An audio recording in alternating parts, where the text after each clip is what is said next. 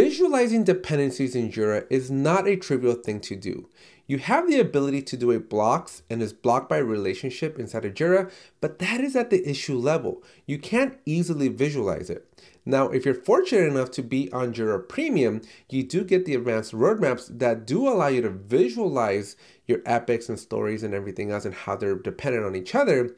But the view is very, very difficult. And not to mention, Jira Premium requires you to 2x your bill. Now, wouldn't it be nicer if there was a better alternative as opposed to using advanced roadmaps? Well, my good friends over at Moser Labs have launched ClearPath, and this tool is going to completely revolutionize the way that you visualize your dependencies and plan all your future work. If you haven't already, please consider subscribing to the channel. Drop a like if you get value out of this video.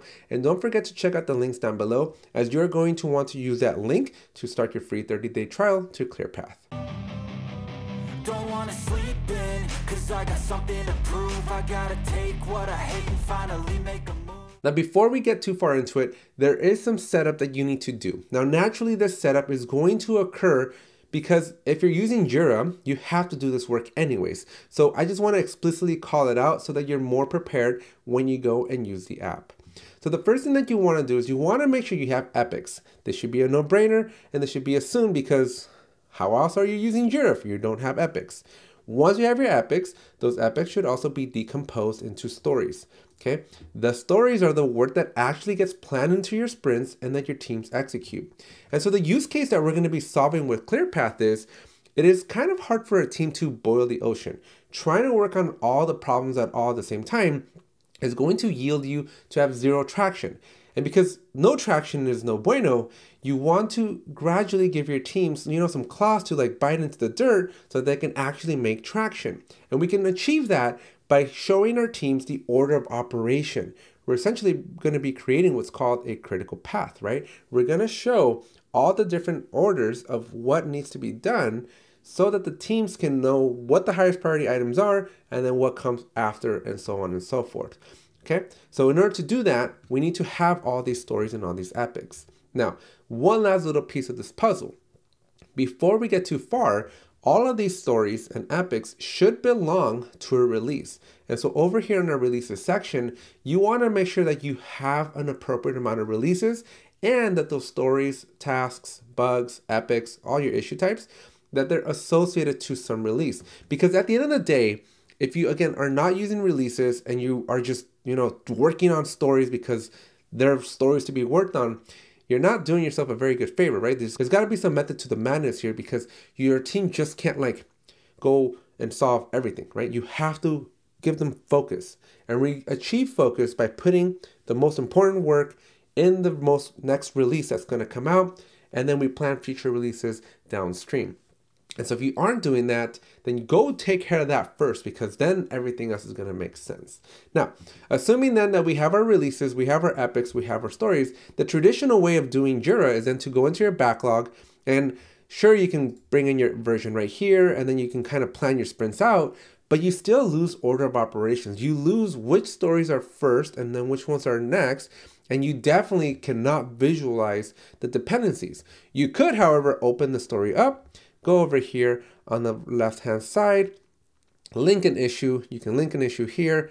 It'll bring you down to the blocked issue. We can link it to another issue over here. And when you click link, yes, we have the establishment, but nowhere on the screen to, can we visually see that we have a relationship with another issue that is dependent on this one. So that becomes really, really hard to visualize.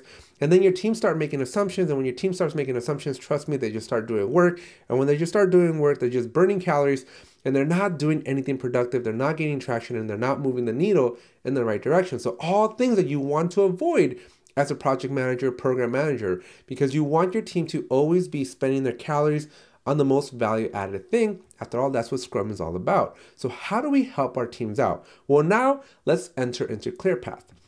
So in order to go into ClearPath, I'm going to delete this link in here that I did earlier, but we're going to click on ClearPath over here on the left-hand side. And this is going to bring us into this amazing tool that I think is going to completely blow your mind. Now it's a little underwhelming here because we haven't selected anything, but rest assured, it's going to get real good real quick. So first thing you want to do, you want to be strategic, right? You want to pick the release that we're going to be working on.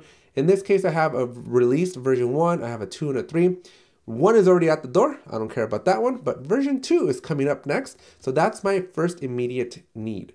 And so when I do that, what's going to happen is the application here is going to show us every story, task, bug, everything below the epic that is associated to that version 2.0. So again, if you don't have your stories associated to your releases, you're going to want to go back and make sure you do that, which is a really a good idea to do anyways because your team shouldn't be working on things just to be working on things.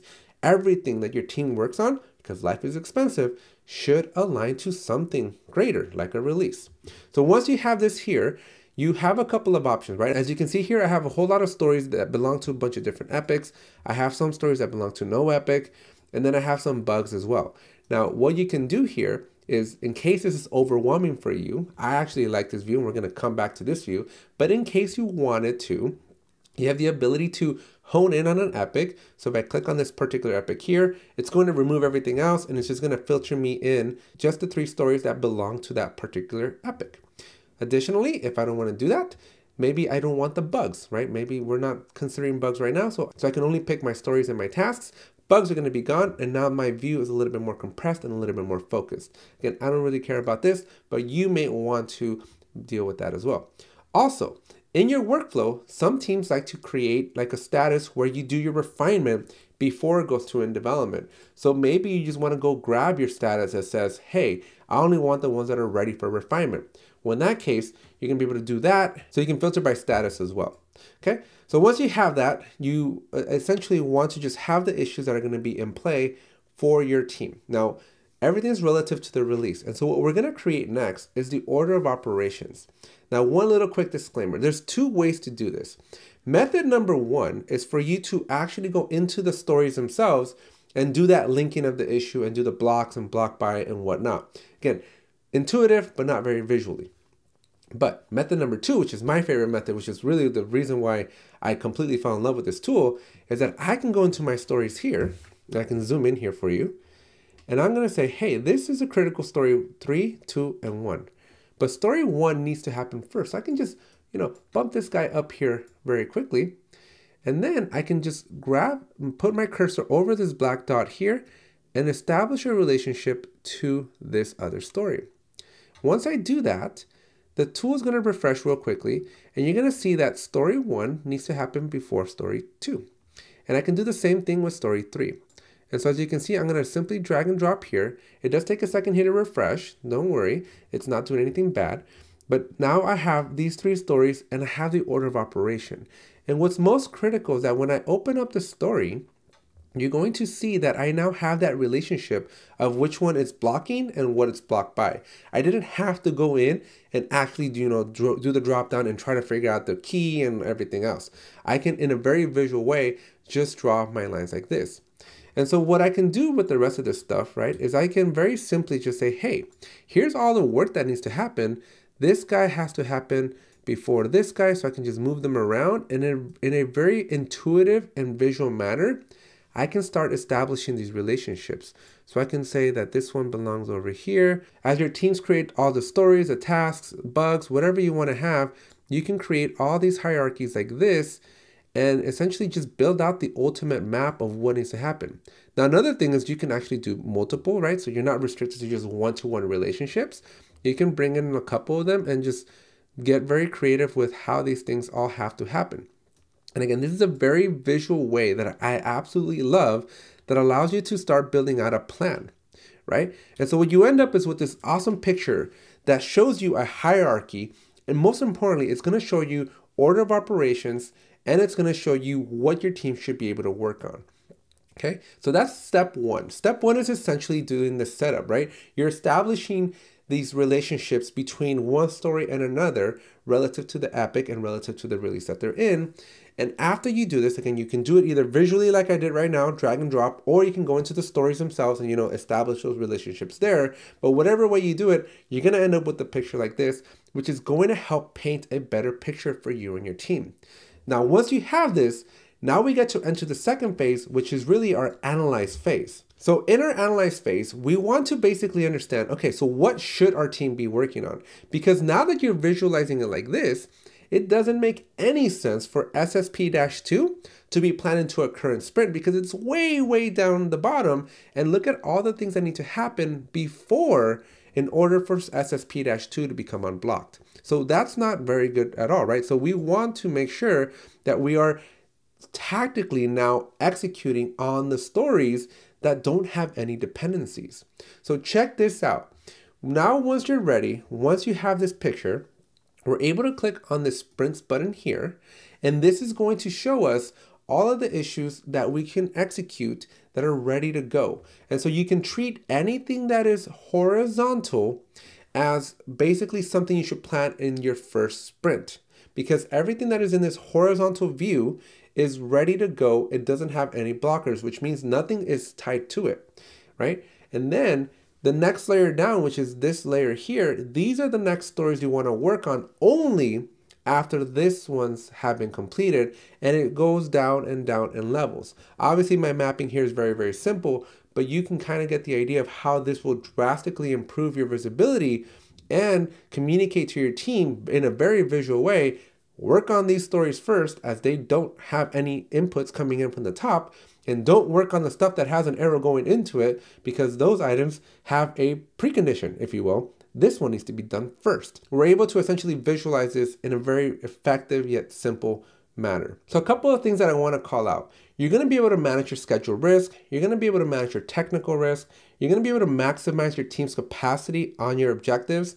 And you're going to be able to estimate your development time in your sprints, right? So now you know if I click on the sprint button here, how many sprints, total sprints, it should take me to essentially deliver my stories based on, again, that order of dependencies. Because you don't want to work on two or three different conflicting items in the same sprint because the probability that your team's going to be able to successfully deliver on that is kind of small, right? So it makes sense that you are working on blocking items in the previous sprint that are then going to unlock another item for the next sprint and this, by just simply clicking on the sprint button here, it's gonna show you, hey, at a minimum, you're gonna need four sprints. So when your managers come in and ask you, hey, how long is this gonna take? Well, it's very, very easy for you to say, well, it's gonna take us at least four sprints because you've already managed all these dependencies. Next up, we have story points. So if you click on this one, this is going to tally up and tell us the most amount of points that are going to take us to deliver on this functionality. So as you can see here, 17 points are in play, and it's basically summing up, again, the worst case, it's summing up all the total story points. And you can see the paths where this is going to be take 17, the longest. You can click on this 13, it'll kind of show you what that looks like. And you can click on this 12 so you can see what that path looks like. So it gives you options. It gives you the ability to take a look and find out hey, what is actually going to work, right? And so this is going to be a really cool view that, again, builds out these critical paths for you, but in a way that you can have a little bit of control, but at least have data points for you to make more strategic decisions. And then finally, we have bottlenecks. The bottleneck is going to analyze all the tickets and highlight any ticket that has more immediate descendants, i.e., it blocks other tickets that exceeds the threshold set in your preferences. So let's talk about our preferences. So over here in the little gear, we have the ability to set a threshold. So any issue that has more than, let's just drop it down to two, is going to now be our bottleneck, right? So as you can see here, we have this right here has more than two dependencies. And so this becomes a bottleneck. You get to configure that, right? You're gonna have to play around and experiment and figure out, okay, what what is realistic for our team and what's not, right? Because if I drop it to one, you can see that our bottleneck starts really highlighting on other areas because we have multiple areas where one or more dependencies exist. And so these all become part of our bottlenecks. So a very visual way so you can figure out which issues your team can work on in parallel and which ones need to be in series, right? So interesting method there. So a couple more things that I want to mention in this video and talking with with respect to talking to ClearPath. You, as we saw, we have the ability to change our bottleneck threshold. We have the ability to change our color. So if you want to see your critical path, red is always a great color but the critical path is going to basically show you that path that you need to follow in order to be able to hit those objectives. Your bottlenecks can be oranges and your selected path can be blue. You have full color range here, all the colors in the world, so you can use whatever you want. Now there's a different type of layout. You have tree or you have grid. I really, really like the tree view, but you can also have this grid view that's a little bit more fluid. Um, I really like this tree though because it just shows it to you in the right order. Really, really cool view there. And then your lines can be either straight or curved, right? So that just changes a little aesthetics there. I like the curve. I think it feels a little bit more modern. You can also export this out. So if you have stakeholders, if you have folks that don't have the ability to essentially be in your environment, you definitely have the ability here to export out. As you can see, it's going to export out as an SVG which you can then share with your stakeholders. It's going to be a you know high fidelity file that is going to scale, right? So it's a, it's not a, a PNG, it's an SVG, so people can zoom in and look at all the finer details um, with that file as well. And that's pretty much it. This is what you're gonna get out of this very visual tool. And that's it for this video. If you enjoyed it, please let me know as there definitely will be a part two because there's still so much more that you can do with this tool. But this is a really good teaser to get the ball going and get you hopefully very excited about doing your dependency management and hopefully take control of your teams trying to boil the ocean when they really shouldn't be. So if you did enjoy it, make sure you drop a like. Make sure you use the link down in the description below to get your free 30 day trial. Most importantly, don't forget to subscribe to the channel. Thanks, and I'll see you in the next one.